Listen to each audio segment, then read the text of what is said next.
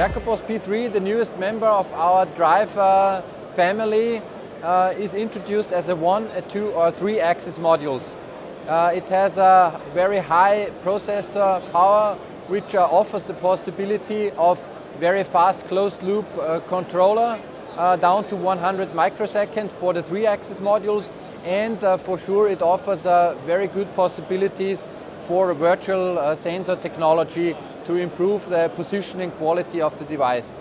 It fits to uh, all internationally used uh, uh, power mains uh, without additional uh, transformers and additionally it offers uh, safe motion safety technology.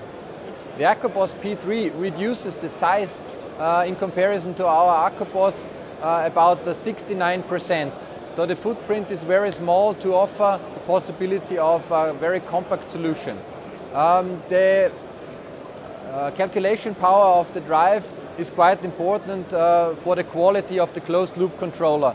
So we have uh, uh a uh, newest generation processor on it to go down to 100 microseconds for the position, the velocity and the current loop controller uh, to increase the performance of the closed loop controller. For the one axis module we can even go down to 50 microseconds, which is definitely the fastest on the market today.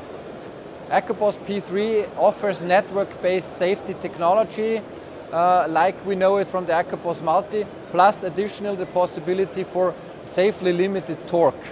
Uh, the Acopos P3 offers this optional display for diagnosing purposes and to select node number.